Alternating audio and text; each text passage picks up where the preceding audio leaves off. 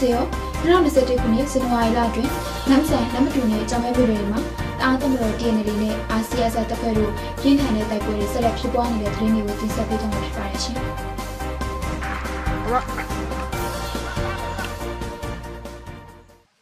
ခဲ့သည့်2020ခုနှစ်ဒီဇင်ဘာလ9ရက်နေ့ကနမ်မတူမြို့နယ်ကနေစတင်ဖြစ်ပွားခဲ့တဲ့တာအားသမတော်နဲ့အာဆီယံဆက်တို့ကြားကတိုက်ပွဲတွေဟာတရက်ထက်တရက်ပုံမူပြင်းထန်လာပြီးတိုက်ပွဲဧရိယာလည်းပုံမူကျပြန့်လာခဲ့ပါတယ်။ပြီးခဲ့သည့်ဒီဇင်ဘာလ9ရက်နေ့ကနမ်မတူမြို့နယ်မန်ဆန်ရွာနဲ့ပကုတ်ရွာကြားမှာအာဆီယံဆက်တပ်ဖွဲ့ကတာအားသမတော်ကိုနေမြေကျူးကျော်စတင်တိုက်ခိုက်လာမှုကြောင့်တိုက်ပွဲတွေစတင်ဖြစ်ပွားခဲ့ပြီးနမ်ဆန်မြို့နယ်နဲ့ကြောင်မဲမြို့နယ်တို့တွင်လည်းတိုက်ပွဲများပြင်းထန်စွာဆက်လက်ဖြစ်ပွားလျက်ရှိနေပါတယ်။ ပြီးခဲ့သည့်2021ခုနှစ်ဇန်နဝါရီလ3ရက်နေ့ကတအာင်းသမတော်တမဟာ3စစ်ဒေသနမ်ဆန်မြို့နယ်နဲ့ကြောင်မဲမြို့နယ်အတွင်းအာဆီအဆက်တပ်ဖွဲ့ကတအာင်းသမတော်အား၃နေရာလာရောက်တိုက်ခိုက်ခဲ့ပါတယ်။နမ်ဆန်မြို့နယ်ရောင်နောင်ကျေးရွာအထက်ဘက်တွင်နနက်8:22မိနစ်မှနေ့လယ်7:00နာရီခွဲအထိတစ်ချိန်နေ့လယ်7:58မိနစ်မှ1နာရီအထိတစ်ချိန်နှင့်ကြောင်မဲမြို့နယ်တော်ဖယ်ကျေးရွာဘက်တွင်ညနေပိုင်း3:00နာရီမှ3:40အထိတစ်ချိန်စုစုပေါင်း3ချိန်လာရောက်တိုက်ခိုက်ခဲ့ပါတယ်။ဇန်နဝါရီလ၄ရက်နေ့မှာလည်းအာဆီယံဆက်တပ်ဖွဲ့ကတာအန်တမတော်တပ်စခန်းတွေကို၃ချိန်တိုင်တိုင်လာရောက်တိုက်ခိုက်ပါတယ်။တာအန်တမတော်တမဟာနေစစ်ဒေသ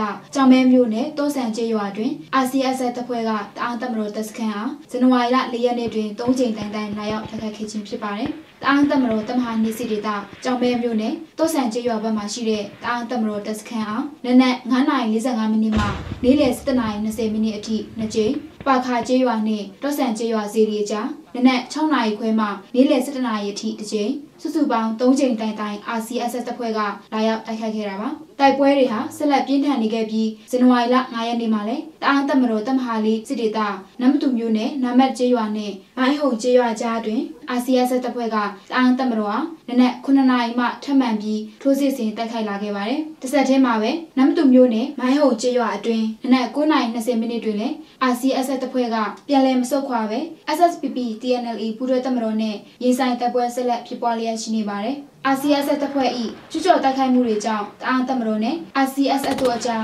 2020ခုနှစ်ဒီဇင်ဘာလအတွင်းတိုက်ပွဲပေါင်း17ကြိမ်ဖြစ်ပွားခဲ့ပြီးဖြစ်သလို2021ခုနှစ်ဇန်နဝါရီလ9ရက်နေ့မနက်အထိမှာပဲတိုက်ပွဲပေါင်း12ကြိမ်အထိဖြစ်ပွားပြီးတိုက်ပွဲတွေပြင်းထန်နေတာဖြစ်ပါတယ်။တိုက်ပွဲများကြောင့်ရွာသူရွာသားတွေဟာထွက်ပြေးတိမ်းရှောင်နေရပြီးကြောင်မဲမျိုးပေါ်မှာ1100ဦးကြောင်မဲမျိုးနဲ့အုံငံကျေးရွာမှာ105ဦးရှိနေပြီဖြစ်ပါတယ်။ ဒါအပြင်မန်ဆာရွာမှာလည်းစစ်ပေးရှောင်တွေရှိနေစေဖြစ်ပါတယ်ဒီကနေ့တင်ဆက်ပေးသွားတဲ့သတင်းကတော့ဒီလောက်ပါပဲကြည့်ရှုနားဆင်ပေးကြတဲ့မိဘပြည်သူများအားလုံးကိုစိတ်နှပြကျန်းမာရှိနေကြပါစေရှင်